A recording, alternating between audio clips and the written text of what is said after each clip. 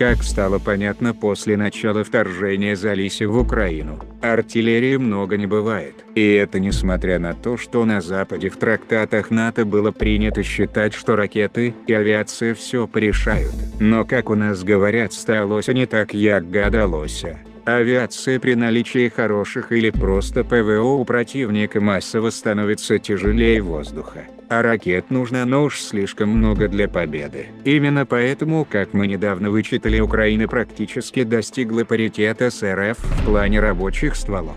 А если учесть качество западных девайсов, то последние проигрывают Украине в плане точности и дальности, чего у нас в войсках сейчас только нет и турецкая Фертина, и французский Цезарь, и М109, а также Дана Сюзанна и далее по списку. Но, как говорил один наш местный классик, лишний оставшийся зуб после пропущенного хука во рту не помешает. Поэтому и сконструировали наши инженеры еще при прошлой власти САУ Богдану на шасси Красыворта. Ну и не так давно ее начали выпускать, насколько мы поняли, серийно на шасси Татра. Однако до последнего времени, у нее была одна проблема в сравнении с западными системами а именно не было автомата заряжания. И вот пару дней назад в день ракетных войск и артиллерии день инженерных войск.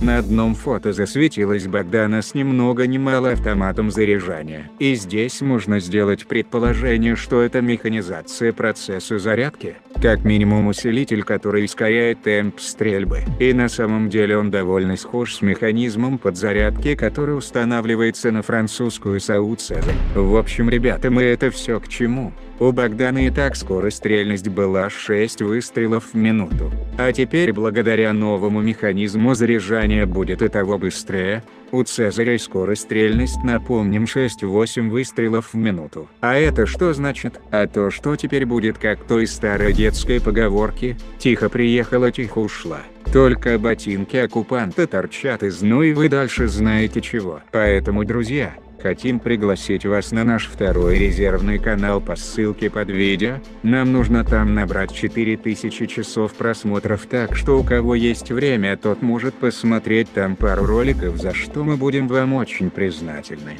Ну и подписаться, поставить лайк и колокол, чтоб приходили сообщения на этом и том втором резервном канале.